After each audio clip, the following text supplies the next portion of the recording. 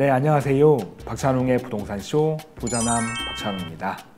전세 월세 계약 후 살고 있던 임차인이 임대 기간이 끝날 때쯤 2년 더 살겠다고 얘기하면 임대 사업자를 포함한 집주인은 가장 먼저 무엇을 해야 할지, 무엇을 주의해야 할지 알아보겠습니다.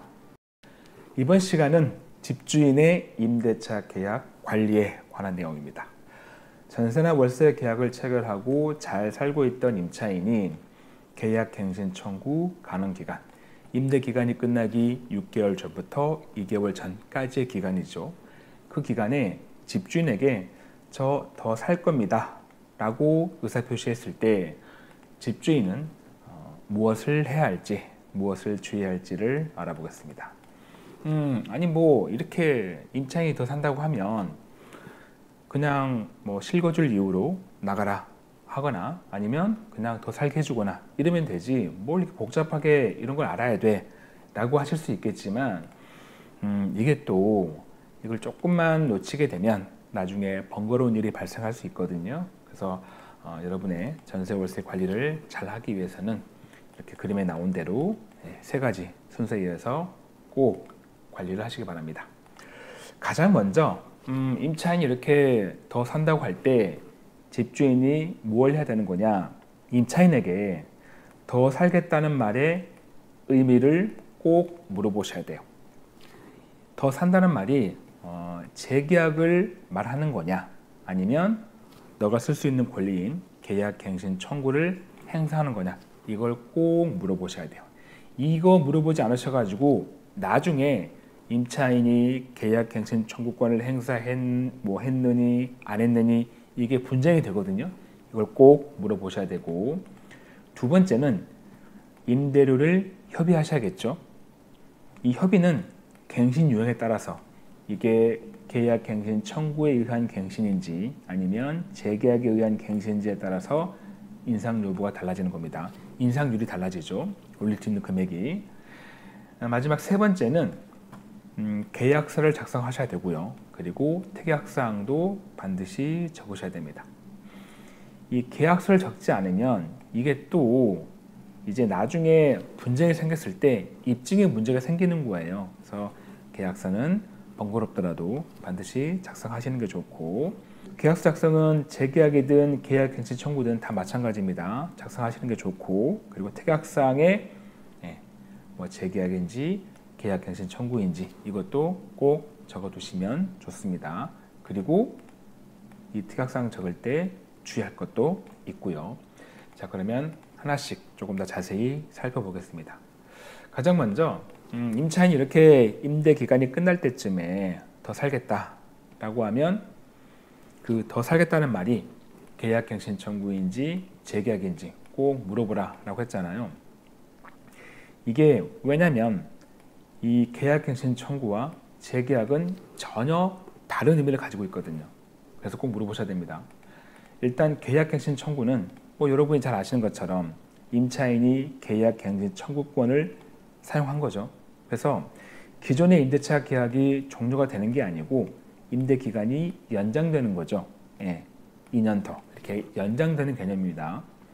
임차인이 갱신 청구권을 사용한 거고요. 반면에 재계약은 임대차 계약이 종료가 되고요. 새로운 임대차 계약이 시작되는 그런 의미예요. 물론 임대 기간은 2년일 수도 있고요. 아니면 협의에 따라서 기간은 달라질 수 있습니다. 중요한 건 이 재계약은 임차인이 계약 갱신 청구권을 사용하지 않았다라는 거예요.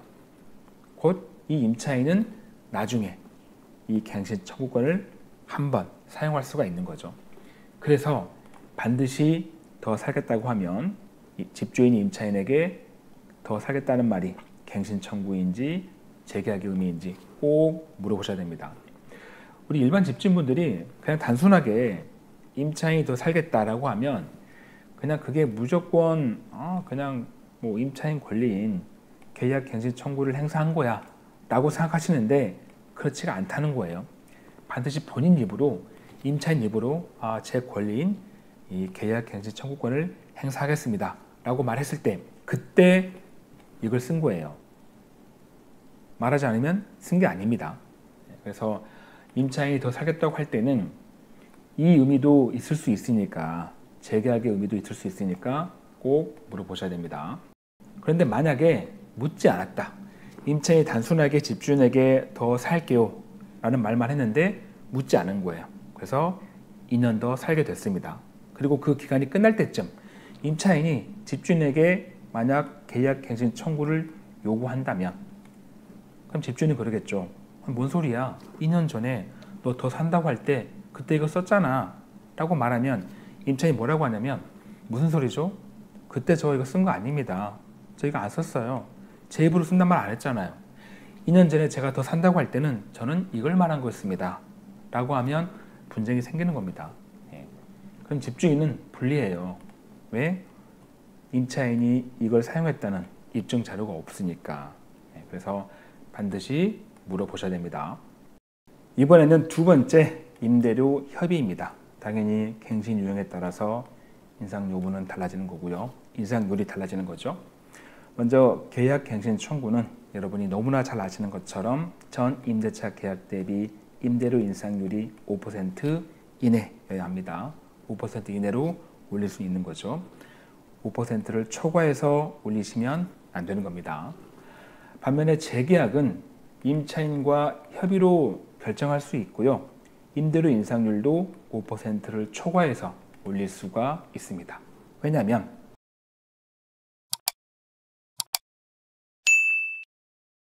이 재계약은 임차인이 계약갱신 청구를 한 게 아니니까 그래서 새로운 계약으로 보는 거니까 5%를 초과해서 올릴 수 있습니다.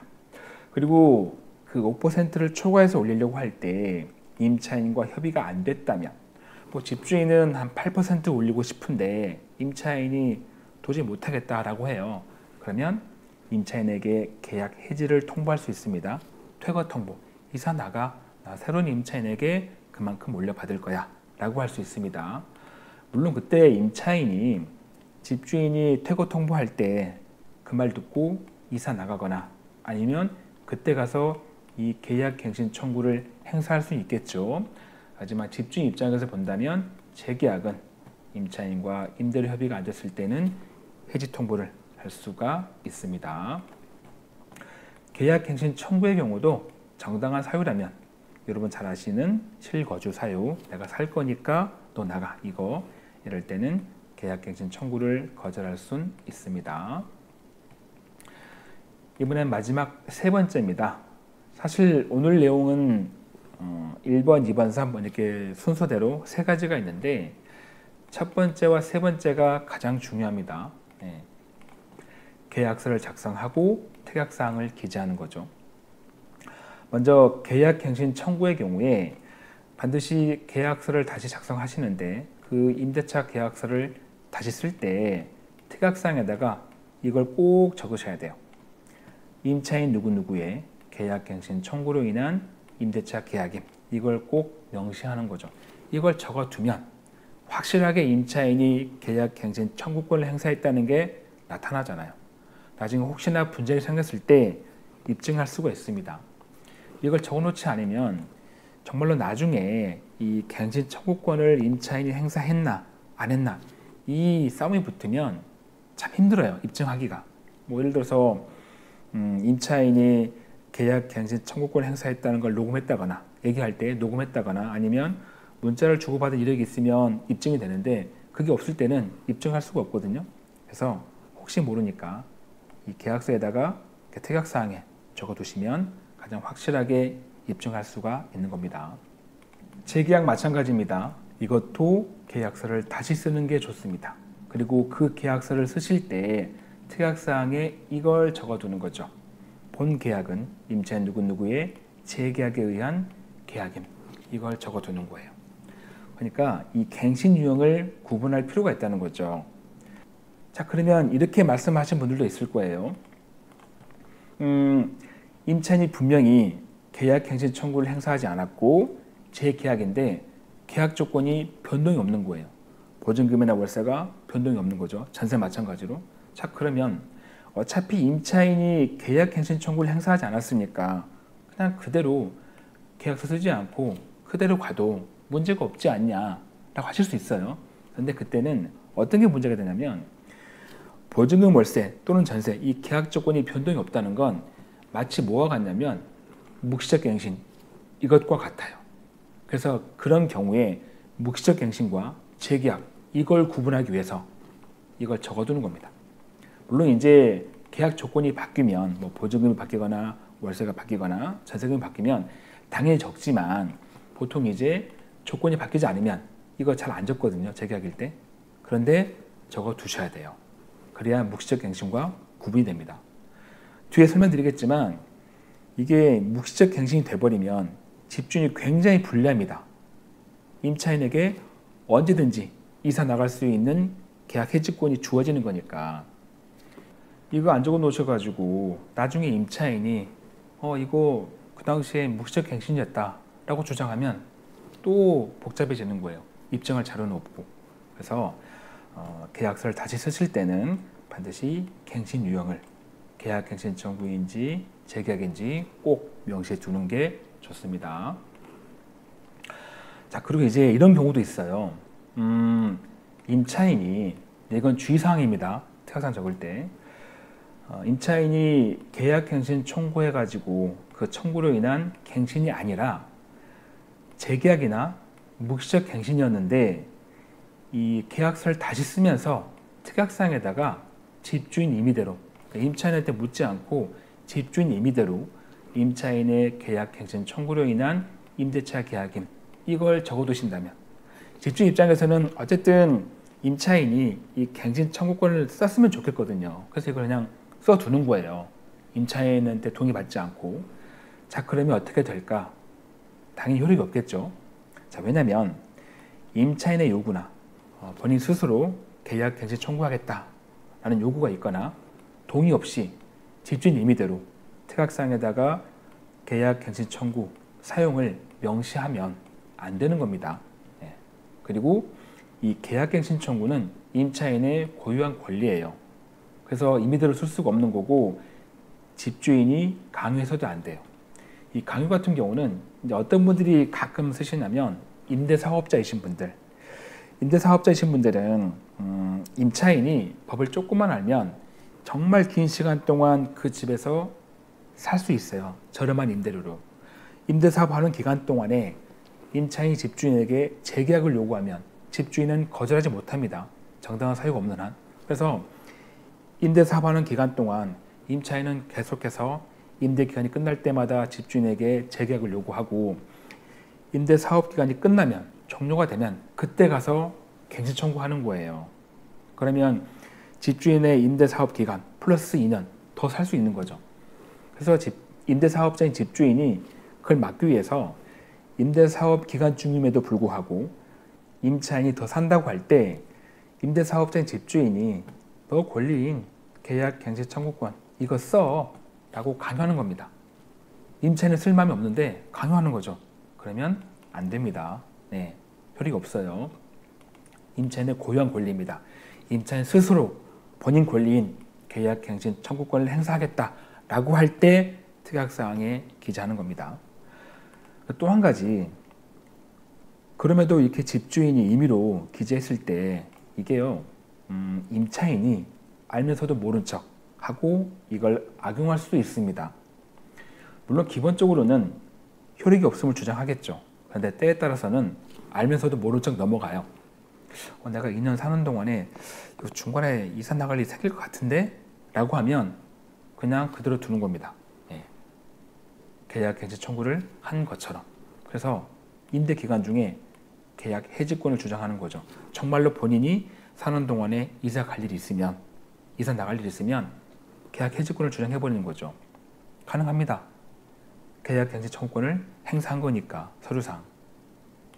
지금 보시면 이 묵시적 갱신과 계약 갱신 청구는 계약 해지권이 인정이 돼요. 예. 임대 기간 중에 언제든지 이사 나갈 수가 있습니다. 해지 효력은 집주인이 그 통보받은 날부터 3개월 후에 효력 발생하는 거고요.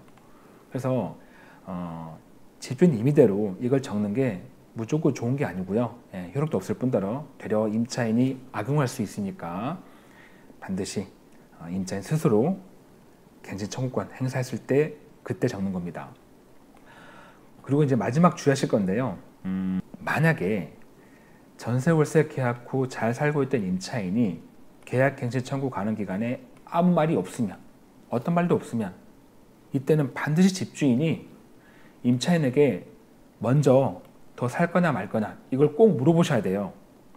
만약에 집주인을 놓쳐버리면 이게 그대로 묵시적 갱신이 돼버립니다. 묵시적 갱신이 되면 집주인 불리하잖아요. 예.